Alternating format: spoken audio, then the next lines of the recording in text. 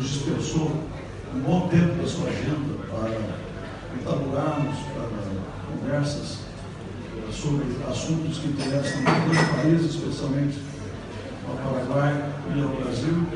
Gostaria de salientar que fiquei extremamente bem impressionado com a condução do presidente, o seu espírito empresarial, pragmático, resolutivo. Eh, saio daqui com uma certeza de que o Paraguai está em boas mãos, está no bom caminho.